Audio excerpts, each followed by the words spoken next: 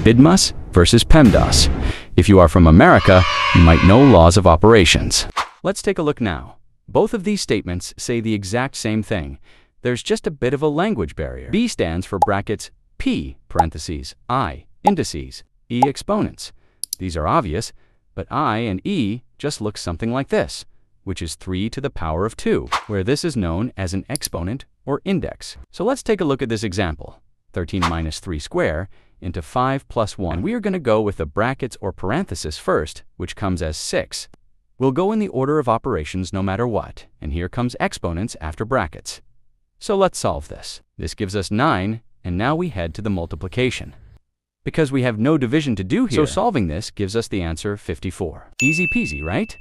Now we heading towards subtraction, because no addition is here required, and subtracting 13 from 54 gives us negative 41, which is our final answer.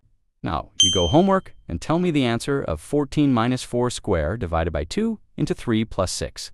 Take your time, look at the upper given laws of operations, and comment your answer below.